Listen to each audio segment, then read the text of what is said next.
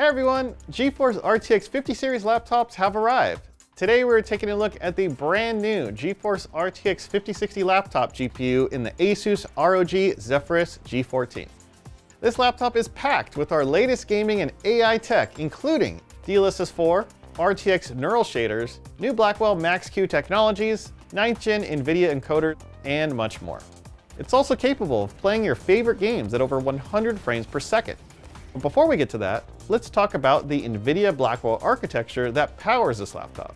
The RTX 50 series features new 4th gen ray tracing cores with increased performance that accelerate mega geometry and ray tracing, along with 5th generation tensor cores that provide maximum performance with DLSS 4.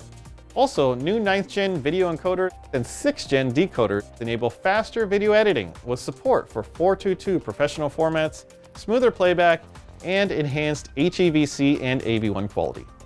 RTX 50 series laptops deliver improved overall system efficiency, which means better battery life, quieter acoustics, lower temperatures, and improved system performance. It's all thanks to the new Blackwell Max-Q technologies, which include a new advanced power gating, which reduces power consumption by toggling unused parts of the GPU. This GPU also features voltage-optimized GDDR7 memory, which are built for efficiency. Low latency sleep allows the GPU to go to sleep quickly to save power and improve battery life. And Battery Boost, which finds the optimal balance of GPU and CPU power usage, battery discharge, image quality, and performance for longer battery life. All of this working together allows you to get a big boost in battery life while gaming compared to previous generations, along with significantly improved performance. These savings also extend outside of gaming. Now let's talk about what's new with DLSS 4 is the biggest advancement to DLSS since 2020, with new features to the entire suite of DLSS technologies. First, super resolution and ray reconstruction both get a more sophisticated transformer model that improves image quality and stability. This model uses four times more compute processing power to reconstruct scenes better than before, delivering amazing image quality. Next is frame generation, which uses game engine and pixel data to generate a single frame in between traditionally rendered frames. Now with the RTX 50 series, we introduced multi-frame generation, which can generate up to three frames per rendered frame for amazing performance. DLSS 4 multi-frame generation also supports creative apps like D5 Render in the viewport, allowing designers to better iterate on their work.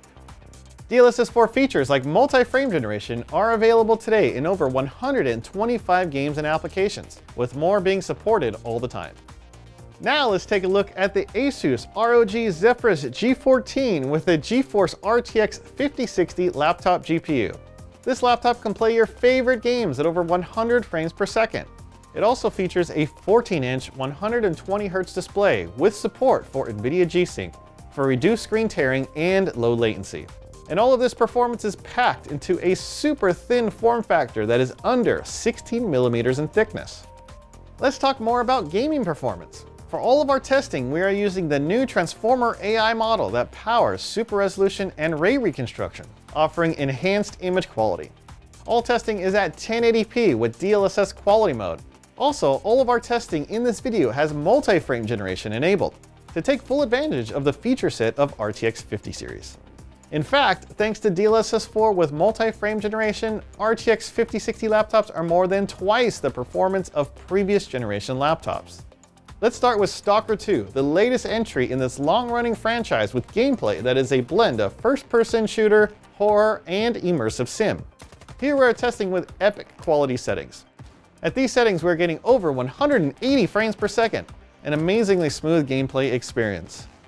Next up, Dragon Age The Veilguard, which is an immersive single-player RPG from BioWare. At maximum settings with Ultra Ray Tracing enabled and DLSS 4, we're getting over 180 frames per second. Doom The Dark Ages is the prequel to the critically acclaimed Doom game, which released in 2016, and Doom Eternal, which tells an epic cinematic story of the Doom Slayer's rage. The RTX 5060 laptop offers impressive performance in this ray trace game with over 190 frames per second at 1080p with ultra settings. You can see the RTX 5060 laptop delivers impressive gaming performance on a mobile platform.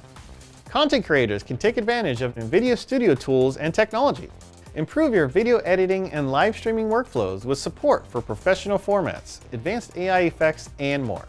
Experience 422 encode and decode, improved AV1 and HEVC quality, and even a new AV1 ultra high quality mode that boosts video quality even further. Live streamers can also use the newly updated NVIDIA Broadcast app to turn any room into a home studio. There's a new user interface and great effects to enhance your image and audio quality. And of course, NVIDIA App, which is the essential companion for PC gamers and creators.